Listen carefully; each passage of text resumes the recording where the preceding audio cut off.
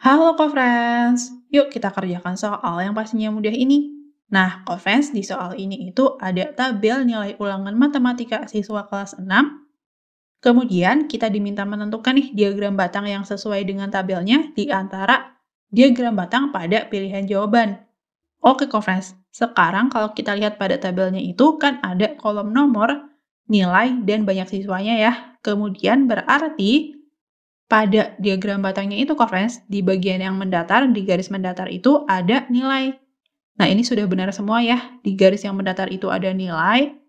Kemudian di garis yang tegak itu harusnya, friends, ada banyak siswa atau siswanya. Nah, berarti di diagram-diagram ini sudah benar ya, friends. Di bagian garis yang tegak itu semuanya adalah siswa. Oke, sekarang karena kalau kita lihat pada diagram batangnya itu kan semua dimulai dari nilai yang paling kecil ya, yaitu nilai 6 jadi, kita lihat pada tabelnya itu friends, mulai dari nomor 5 pada nilai 6. Nah, di sini friends, nilai 6 itu banyak siswa yang mendapatkannya adalah 10. Sekarang kita lihat nih friends. Mulai dari tabel di pilihan jawaban A, apakah nilai 6 itu banyak siswanya adalah 10. Jadi kita lihat ya, batang milik nilai 6 itu yang ini, ternyata dia puncaknya itu ada di titik siswa 10 nih friends. Berarti benar, di diagram pada pilihan jawaban B itu juga benar ya, di 10. Yang di C juga benar, diagram D juga benar nih friends. Berarti untuk nilai yang pertama itu benar semua. Sekarang kita masuk nih ke nilai yang kedua, yaitu nilai 7. Banyak siswa yang mendapatkannya itu adalah 8. Kita cek ya dari diagram di pilihan jawaban A. 7, dia itu ternyata memang puncak batangnya segaris dengan siswa 8 ya friends. Berarti benar. Kemudian di pilihan jawaban B itu juga sama ya, berarti benar.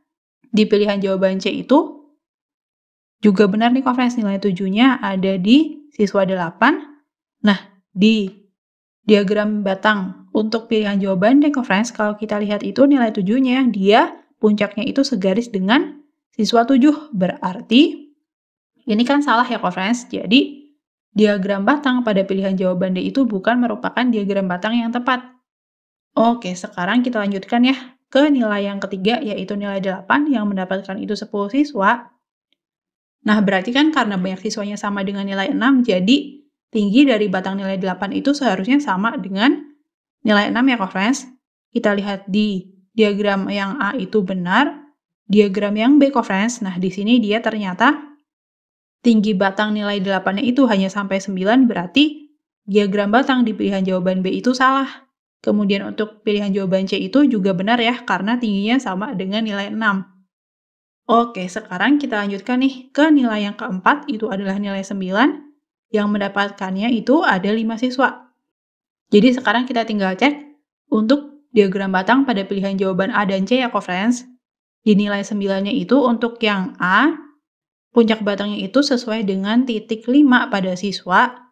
Jadi benar ya, kemudian di pilihan jawaban C itu Kak ternyata juga benar nih, dia juga titik 5. Sekarang untuk nilai yang terakhir, nilai 10 itu banyak siswanya ada 3.